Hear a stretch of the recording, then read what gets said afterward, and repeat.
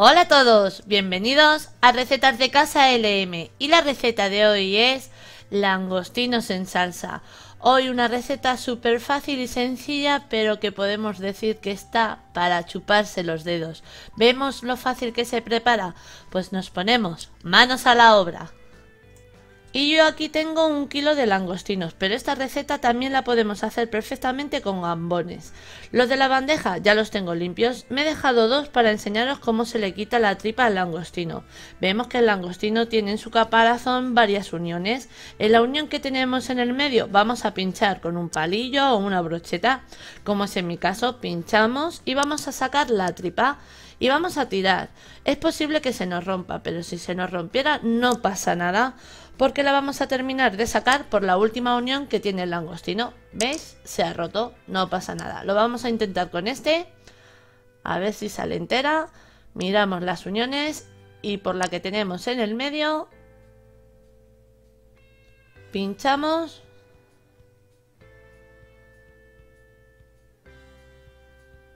Sacamos hacia arriba, volvemos a tirar con cuidado pero se rompe igualmente. Pues nada, nos vamos por la parte del final del langostino y en la última unión volvemos a pinchar.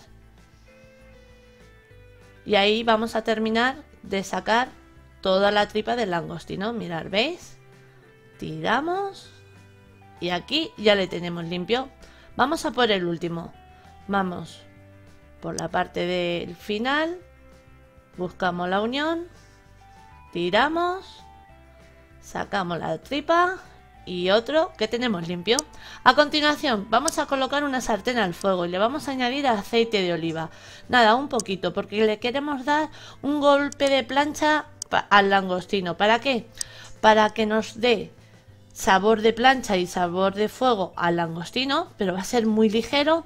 Y también luego ese sabor se lo va a dar a la salsa, que va a quedar estupendo. Vamos a añadir el langostino, pero muy rápidamente, cuando el aceite ya está bien caliente. Ahí vamos añadiéndolo lo más rápido que podamos. Una vez ya hemos cubierto la base de la sartén, añadimos sal. Sal, como siempre os digo, a nuestro gusto. Y todo muy rápido. De nuevo, damos la vuelta y no los vamos a dejar que se terminen de hacer. Solamente para darles el sabor de la plancha. Sacamos y veis que no los hemos terminado de cocinar. Así, por eso os digo que tiene que ser muy rápido. Volvemos a repetir el mismo paso con el resto de los langostinos.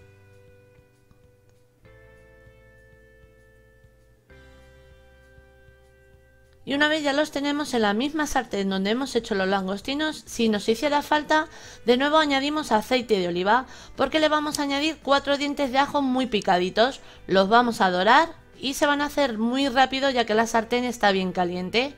Nada, un par de vueltas y lo tenemos. Añadimos una cebolla que he cortado en juliana. Mezclamos un poquito y le vamos a añadir un poquito de sal para que la cebolla suelte antes su agua. La pochamos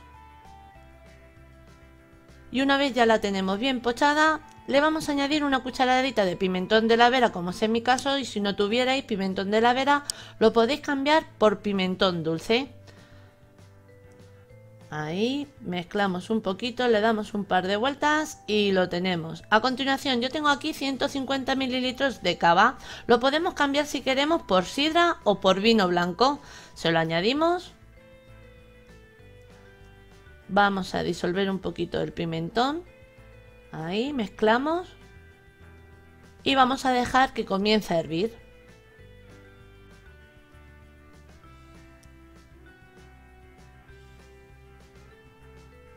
Y una vez nos ha comenzado a hervir, vamos a dejar unos 3 a 5 minutos que hierva para que nos evapore el alcohol. Transcurrido el tiempo, a continuación le vamos a añadir 150 mililitros de agua. Mezclamos.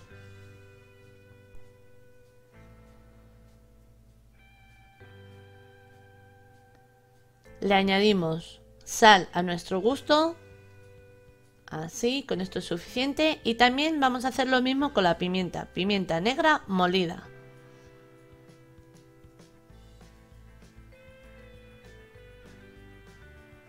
Mezclamos de nuevo y lo vamos a dejar que comience a hervir. Una vez ha comenzado a hervir vamos a añadir 400 gramos de tomate frito como es en mi caso o si no lo podemos cambiar por 5 tomates naturales bien rallados.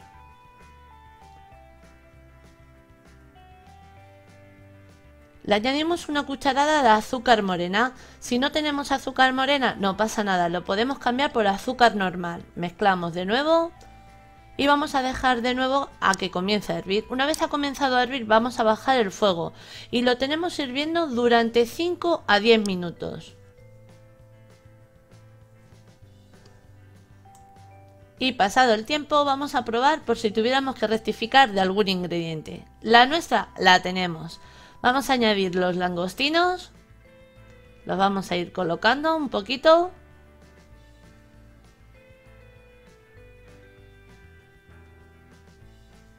Vamos a por el último. Y estos jugos que nos quedan aquí en la bandeja, sí o sí los tenemos que añadir a la salsa, porque esto es oro para ella. Colocamos un poquito. Y ahora sí, en el tiempo va a depender un poquito del tamaño del langostino o el gambón, lo que estemos utilizando.